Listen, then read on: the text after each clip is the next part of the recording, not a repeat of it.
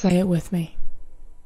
I did the best I could with what I knew at that time.